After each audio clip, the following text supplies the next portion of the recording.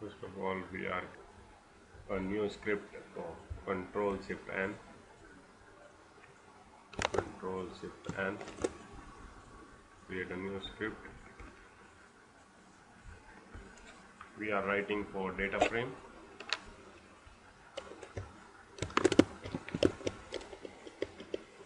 How to use the data frame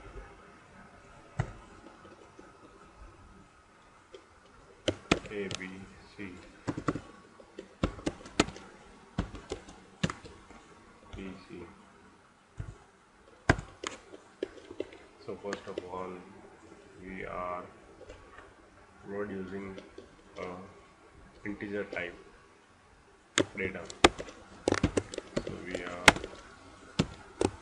writing one two three then we are enter control plus enter. Next B is the character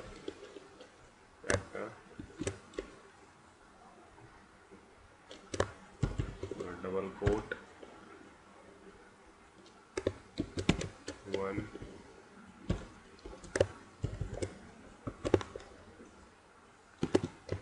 two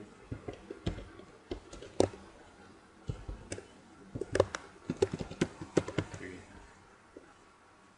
we are writing the four and C and we are a boolean value create a vector of boolean values true false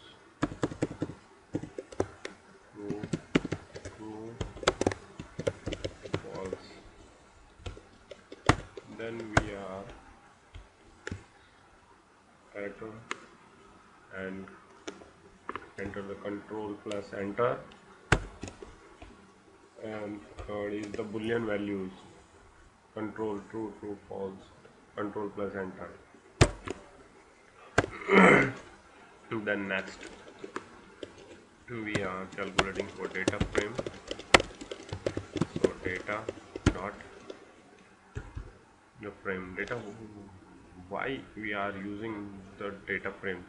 This function creates data frames tightly coupled collections of variables which share many of the properties of matrix and of list used as the fundamental data structure by most of R's modeling software. So here is the solution A B and C. And enter. So is R Studio generate a table and the data frame is the row and column wise. So here is the data frame control plus Z and here is the table.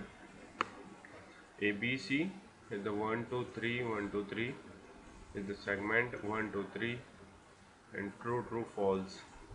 This is the data frame and what is the collectively use of data frame so here we are using of our data scientist language for uh, millions of rows and columns are working together and they are working and charting they are plotting etc etc and find the answer of what is the missing and what will doing for next and what is the where is the error of our project and our data and mislead data and find the misleading data and we are correcting them through the data frame.